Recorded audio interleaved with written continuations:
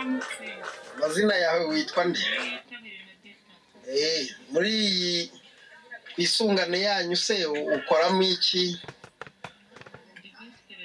Eh, uri visi perezida wo muri iyi twisungane ndabona uri kuboha igiseke.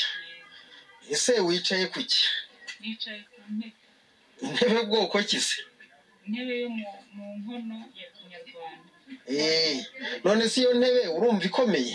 Irakomeye nta kibazo. Mm. twajyaga twicara hasi. Yego. None twabonye intebe zadushimishije. Yego. Eh, ubwo rero naho twabateguriye ngo mube mwicaye mwe kwicara mu mukungugu. Turashimira umuntu waduteguriye. Yego murakoze. Mwaramutse mo? Makuru ndabona uri kuboha igiseke. Ariko se ko ndi kureba wicaye ku kantu aho hagana hasi ni agake Iyi iyi ni intebe ye ubu byadufashe ko twicara hasi mu mukungugu yego. Ariko byaba byiza ko twabonye intebe twicaraho ubu byadushimishije izo ntebe se ni intebe zimeze ziti? Izi ntebe Mm, ni izo mu tuyiri tw'inkono. Yego. Ariko iyi ntebe yadushimishije imeze nk'intebe za kinyarwanda za kera yego haguruka turebe neza urabona ko ari intebe ikomeye ese kuba uyicayeho hari ikibazo wagira ku buryo yaba idakomeye ikaba yagutura hasi se irakomeye nta mbogamizi yayo rwose nta mbogamizi ni ukuvuga ngo wakwicara nta kibazo nta kibazo rwose sawa urakoze komeza akazi kawe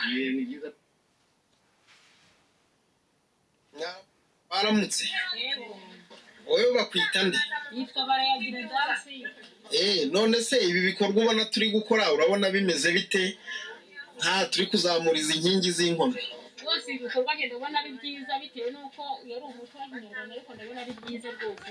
Ndabona ari ibintu byiza Mm, dukomeze rero tugende tukwereka n'ahandi turi kugenda twubaka ibindi. Eh, arya wowe witwa? Ngwino tukwereka ahandi turi kugenda dukorera ibindi bintu byiza cyane.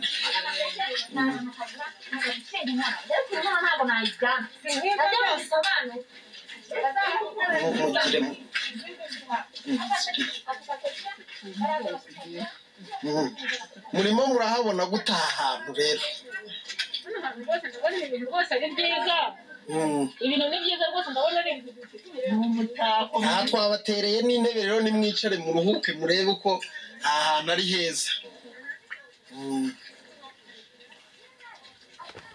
umutako mwiza Mm.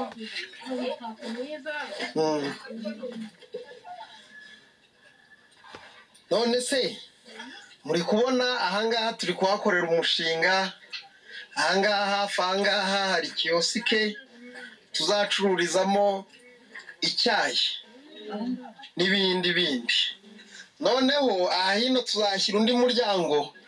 Nibiba ngombwa tuzabahamo umuryango namwe mujya mukoreramo mucururizamo ibiseke.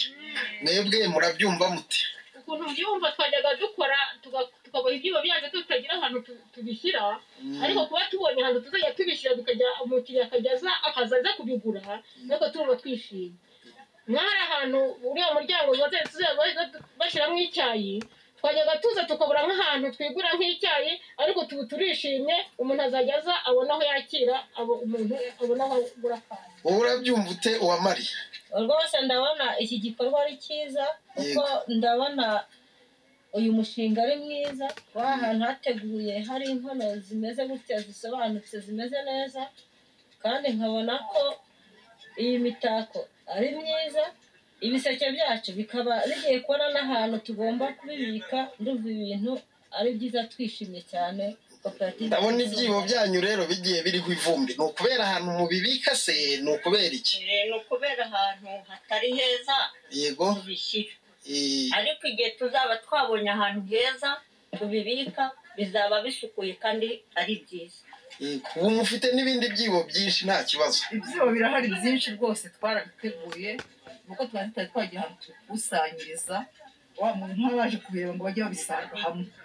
Umusaza rero yabemereye ko azabaho umuryango muzabishyiramo mukabicururizamo. Mudushimira kandi ikindi nanone ntabimubwiye yego. ahantu barahatatse hameze neza n'abantu bazajya baza kuhifotoreza kubera iyi mitako. Yego rwose urakoze cyane. Tubonye hano undi mukecuru nawe yicaye hano ku ntebe nziza natubwire nawe uko abyumva. Ibintu ni byiza. Yego. Turishimye.